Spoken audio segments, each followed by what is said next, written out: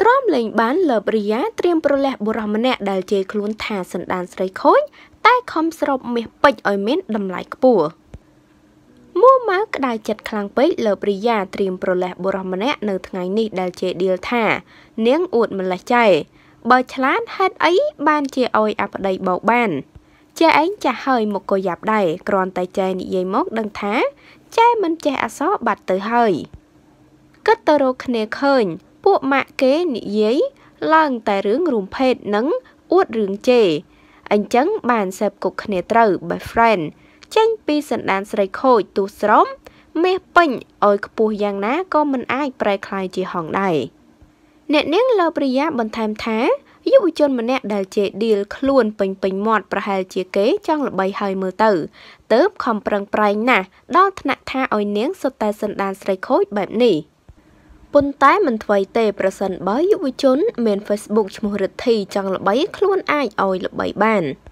ដូច្នេះនាងសូមសំណូមពរឲ្យហ្វេនហ្វេនចូលមើលកាឡៃឲ្យបានគ្រប់គ្នា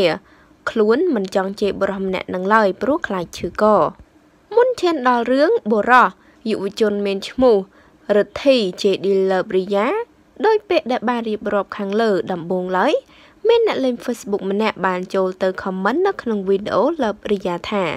មួយថ្ងៃមួយថ្ងៃនិយាយតែរឿងប្រុសចង់បានប្តីខ្លាំងណាស់ហើយមើលទៅ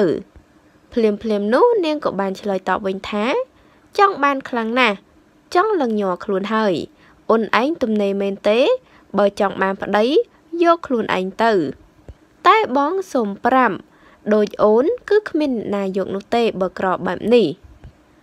បុរសឥឡូវគេឆ្លាតណាស់ គេយកតែស្រីអ្នកមានទេអូនតើតែពូកែរកលុយដូចបង ឆ្លាតដូចបងទៅគេយកហើយមុខដូចអូនឯង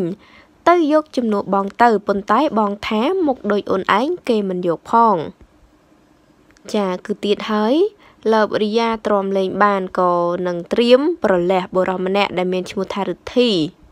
ដែលបាននិយាយមាក់ងាយនាង គឺខ្លាំងមែនទែនថាសុទ្ធតែសណ្ដានស្រីខូចខំស្រូបមាសពេជ្រឲ្យមានតម្លៃខ្ពស់ ចាយើងរងចាំមើលថាតើលើបរិយានឹងប្តឹងដែរឬទេឬក៏ត្រឹមតែជេរតាម Facebook តែប៉ុណ្ណោះយើងនឹងតាមដានជាបន្តទៀតចាហើយតកតងនឹងព័ត៌មាននេះដែរក៏សូមបញ្ចប់តែត្រឹមនេះអរគុណបងប្អូនទាំងអស់គ្នាសូមចុច Subscribe និងរូបកណ្ដឹងដើម្បីទទួលបានព័ត៌មានថ្មីៗជាបន្តទៀតសូមអរគុណសូមគោរពលា